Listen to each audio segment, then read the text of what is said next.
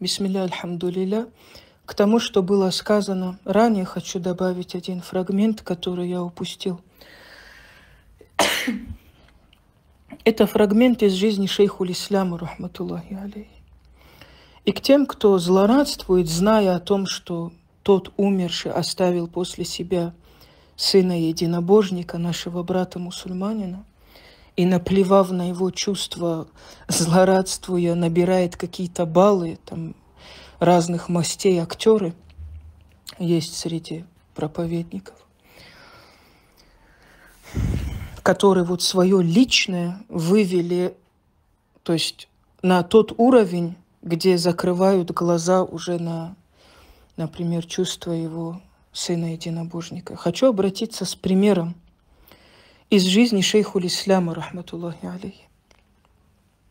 Шейху Ислам тот, кого каждый к себе причисляет, и тот, к кому все себя причисляют. Но шейху Ислам не был никогда гнилым и подлым человеком. Никогда. За это его и любили. В нем не было вот этой гнили. Никогда.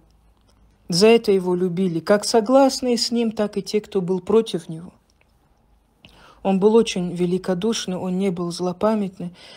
И он чувствовал вот эту грань э, субординации. И имам Ибн Аль-Каим говорит, это он рассказывает, его ученик Ибн Аль-Каим, как пример того, каким нужно быть или стараться им быть, раз уж каждый себя к Ибн Тайми причисляет. Ибн Аль-Каим говорит, «Джи'ту яуман мубаширан лягу бимаути акбари а'даихи». Однажды я, то есть Ибн Аль-Каим пришел к Ибн Тайми обрадовать его вестью о смерти самого главного его врага. Имам Ибн Аль-Каим у себя в Мадари Салихин не упомянул его имя, но скажу, что им был Ибн Махлюф. Об этом упоминает Ибн Аль-Имад, насколько я помню, в своей книге «Шадарату Захаб».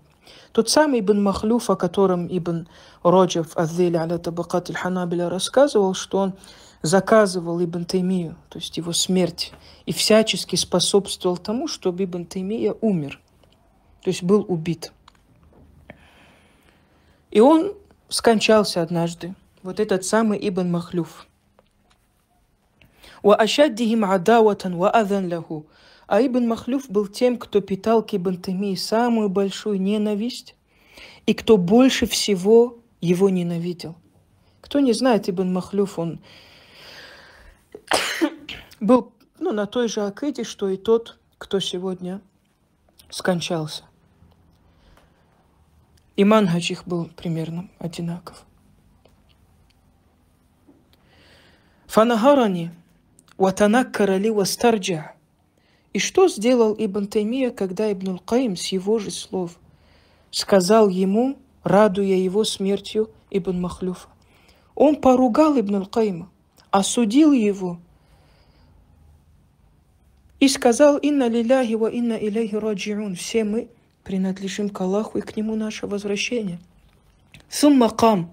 Что делает Ибн Таймия? Почему Аллах оставил его в сердцах миллиардов людей? Он встал минфаурихи сразу, без задержки. Иля бейти ахлихи. И направился к дому Ибн Махлюфа, где находилась там его жена, дети. Фахаззахум.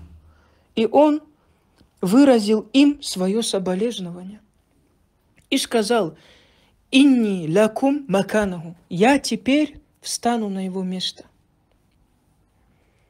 «Валя якуну лакум амрун» «Тахтаджуна фихи иля мусаадатин, илля васаатукум фихи». И не будет такого мгновения, чтобы вы из-за его отсутствия нуждались в чем-либо.